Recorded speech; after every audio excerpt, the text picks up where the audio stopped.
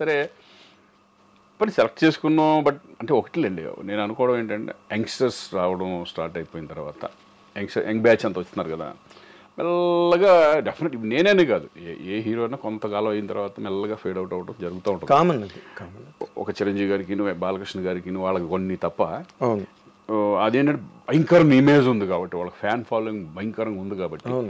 వాళ్ళు సస్టైన్ డెఫినెట్గా అవుతారు. ఎక్కువ ఫ్యాన్ బేస్డ్ మనకు ఓపెనింగ్ రాగా మన సినిమా అప్పట్లో ఎలా ఉండేదంటే ఫ్రాంక్గా మాట్లాడుకుంటే సినిమా బాగుంటేనే సినిమాకి వచ్చేవాళ్ళు. అవును. ఓపెనింగ్లో కొట్టేసేసి అంత సీన్ లేదు. లేడీస్ ఫ్యాన్స్ అంతా సినిమా బాగుంది అనుకుంటే మెల్లగా రెండు మెల్ల అలా అలా అలా అలా పెరుగుతూ వచ్చేది. ఇప్పుడు ఈ మధ్యకాలంలో అలా అలా లేదు. ఫస్ట్ డేనే సినిమా బాగోలేకపోతే నాలుగో రోజుల్లో తీసేస్తున్నారు. నాలుగు రోజు మధ్యాహ్నానికి మధ్యాహ్నానికే ఉంటలా సినిమా బాగోలేదని టాక్ వస్తే ఎస్ అసలు రావట్లేదు అలా అయిపోయింది. బట్ ఎనీవే మనం నేను ఫస్ట్లో అయితే నేను ఎలా ఇండస్ట్రీలో నిలబడాలి అని అనుకున్నాను నిలబడ్డావు నిలబడతానే ఉన్నా. నిలబడితేనే ఏదో ఒక రూపంలో. క్యారెక్టర్ అవన్నీ ఇప్పుడు వచ్చిన మన ఈ మధ్య కోట బొమ్మాడు ఒక మెయిన్ లీడ్ క్యారెక్టర్గా అసలు ఈ టైంలో కోటబొమ్మళ్ళి అన్నది రావడం Hmm. నీకు అలాంటి క్యారెక్టర్ రావడం అవును. అసలు మార్వలెస్ ఆ పెర్ఫార్మెన్స్ కానీ నువ్వు ఎంత బాగా సూట్ అయ్యావంటే ఆ క్యారెక్టర్కి అంటే పీపుల్. బిలీవ్డ్ యూ ఒక సిన్సియర్ పోలీస్ ఆఫీసర్ అంటే నువ్వు ఇన్నాళ్ళు నిలబెట్టుకున్న ఒక రికార్డ్ ఏదైతే ఉందో మంచివాడు శ్రీకాంత్ నిజాయితీ గలవాడు ఫ్రాంక్ అన్న ఇమేజ్ ఉంది చూడు నీకు. అది బాగా ప్లస్ అయింది బాగా ప్రెస్ అయ్యింది థియేటర్లో. అది వాసు వాళ్ళు కూడా అదే ఆలోచించారు. ఎందుకంటే ఈ క్యారెక్టర్ ఏంటంటే చాలా చాలా కష్టం ఈ క్యారెక్టర్ చేయడం తెలుగులో. అంటే ఆయన ఒరిజినల్ చూసుంటారు కదా. అవును జోజు జోజు ఆ క్యారెక్టర్ చేయడం చాలా కష్టం అది. అతని బాడీ లాంగ్వేజ్ చాలా డిఫరెంట్గా ఉంటుంది. అవును. పర్ఫార్మెన్స్ లెవెల్స్ కూడా చాలా న్యాచురల్గా చాలా ఇంట్లో పక్కన చేసుకుంటా ఆ టైప్లో ఎమోషన్స్ అలా టచ్ చేస్తాడు. ఫస్ట్ నేను అనుకున్నాను ఆ క్యారెక్టర్ ఎంతవరకు మనం న్యాయం చేయగలం అనుకున్నాను వాళ్ళు ఏమన్నారంటే ఆ ఆ ఫేస్లో సెంటిమెంట్ పండించగలగాలి ఎమోషన్ ఉండాలి అన్ని రకాలుగా ఉంటే కనుక న్యాచురల్గా చేసుకుంటూ వెళ్ళిపోవాలి అనే పద్ధతిలో అనుకున్నాం. అతను ఇమిటేట్ చేయడం వాసు నేను డిస్కస్ చేసినప్పుడు ఏంటంటే మన పద్ధతిలో మనం వెళ్ళిపోదాం.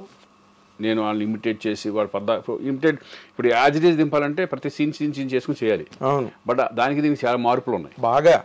బాగా మార్పులు ఉన్నాయి. బాగా మార్పులు ఉన్నాయి. నా నా రూట్లో నేను చేసుకుంటూ వెళ్ళిపోయాను అంతే. దానికి కష్టపడింది కూడా లేదు ఆ ఫీలింగ్స్ డైరెక్టర్ ఏం చెప్తే అది. అంటే నీకు కష్టపడడానికి ఏముంది? ఇన్ని సినిమాలు చేసి ఇన్ని వేరియేషన్స్ ఏం లేదు క్యారెక్టర్ అర్థం చేసుకుంటే అర్థం చేసుకుంటే చాలు. అంతే. అది నువ్వు ఎమోషన్స్ క్యారెక్టర్లో ఉన్న ఎమోషన్ అర్థం చేసుకున్నామంటే అవును. అసలు ఆ లాస్ట్ సీన్ ఉందే నాకు ఈ ఉద్యోగం కాకి బట్టలు ఇచ్చింది కానీ ఆ. కుటుంబాన్ని దూరం చేసింది. ఆ డైలాగు నిజంగా అసలు థియేటర్లో క్లాప్స్ ఆ థియేటర్ దగ్గర సీన్స్ బాగా ఎమోషన్ బాగా టచ్ అంటే కామన్ పోలీసు ఎంత స్ట్రగుల్ పడుతున్నాడు నిజంగా ఒక మామూలు మిడిల్ మిడిల్ క్లాస్ లాగానేగా? అంతే. పోలీస్ అంటే పెద్ద రేంజ్లో ఉన్నవాళ్ళు దట్ ఈస్ కొంచెం డిఫరెంట్గా ఉంటుంది. ఒక పోలీస్ అనే అతను మిడిల్ ఇప్పుడు మన మిడిల్ మిడిల్ క్లాస్ పీపుల్ ఎలా ఉంటారో ఆ టైప్ ఆఫ్ అనుకోవాలి మనం. అంతే. వాళ్ళ వాళ్ళ స్ట్రగుల్స్ వాళ్ళకు ఉంటాయి అయ్యో వాళ్ళు మనుషులే కదా. ఇప్పుడు అందులో అక్కడ కనిపించింది అదే ఒక పోలీస్ ఆఫీసర్ పోలీస్ డిపార్ట్మెంట్లో ఉన్నవాడు బయటకు వచ్చి అంతమందిని కమెంట్ చేసి భయపెట్టేవాడు జీవితంలో. ఎంత సున్నితమైన అంశాలు మనిషిని చంపేసే కదా ఆఖరిని. కూతురు అన్నమాటకేగా చచ్చిపోయాడు. బిలీవ్డ్ ఇట్ పీపుల్ నువ్వు హ్యాంగ్ చేసుకున్న సీను థియేటర్లో పిన్ డ్రాప్ సైలెన్స్ ఆ సీన్ దేర్ షాక్ అంటే నాకు ఫోన్ చేసి తట్టుకోలేకపోయా ఏంటి అట్లా సడన్గా చేసేసుకుని ఏంటంటే కథ కొంతమంది బాగా ఫ్రెండ్స్ ఉంటారు కదా. వాళ్ళు షాక్లోనే ఉన్నారు అంతా మొత్తం ఏంటి ఇది ఆ టైప్లో అదేలే.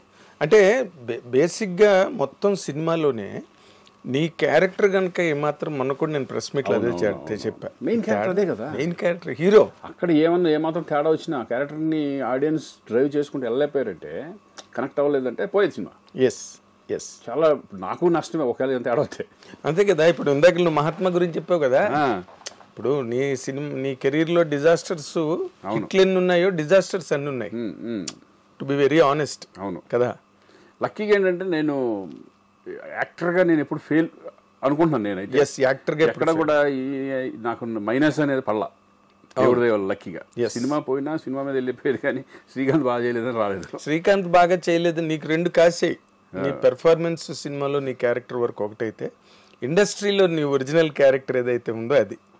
అది అది కేస్ స్టడీ తర్వాత ఇప్పుడున్న జనరేషన్ వాళ్ళకి ఎట్లా మూవ్ అవ్వాలి ఎట్లా మెయింటైన్ చేయాలి రిలేషన్స్ అవన్నీ సినిమా చూసే కాదు. ఇంపార్టెంట్ చాలా ఎందుకంటే ఇండస్ట్రీలో ఓన్లీ సక్సెస్ ఒకటే కాదు. సక్సెస్లు వస్తాయి ఫెయిల్యూర్స్ వస్తాయి కానీ మనిషిగా నిలబడాలి. ఎస్ ఒక హ్యూమనిటీ అనేది హండ్రెడ్ పర్సెంట్ నేనే కదా ఇప్పుడు మా పిల్లలు వచ్చినా ఎవరు వచ్చినా సరే వాళ్ళు చూసి మమ్మల్ని చూసి నేర్చుకోవాలిగా నేర్చుకుంటారు. దట్స్ వాట్ ఐమ్ సెయింగ్ ఏంటి నాన్న ఏంటి అనేది వాళ్ళు అబ్జర్వ్ చేస్తూ ఉంటారు. మనం చెప్పక్కర్లా. చెప్పక్కల వాళ్ళ వాళ్ళ బయట వాళ్ళు చెప్పే విధానం కానీ మేము నా- గురించి చెప్పే విధానం కానీ నా గురించి అనగా ఇప్పుడు ఇప్పుడు. ఇప్పుడు చిరంజీవి గారు ఎవరు పెద్ద పెద్ద వాళ్ళు ఉంటారు మా సీనియర్స్ ఉంటారు. వాళ్ళని చూసి నేర్చుకునే మేము చాలా ఉంటాయి కదా. అవును. అలాగే ఈ మా పిల్లలు కానీ వీళ్ళు కానీ మనల్ని అబ్జర్వ్ చేస్తే వాళ్ళు పెరుగు పెరిగే విధానం కానీ వాళ్ళు ఎలా ఉండాలి ఇండస్ట్రీలో ఎవరితో ఎలా మాట్లాడాలి ఏంటి అనే ఎక్కువ అనవసరమైన జోలికి వెళ్ళొద్దు. అవును. ఇటువంటి అవును అవసరమైన పట్టించుకోవడానికే టైం సరిపోదు. టైం సరిపోవట్లేదు మళ్ళీ అనవసరమైన చూసాక మొన్న అనవసరమైన పట్టించుకుంటేనే ఏది? అసోసియేషన్లో. అవును.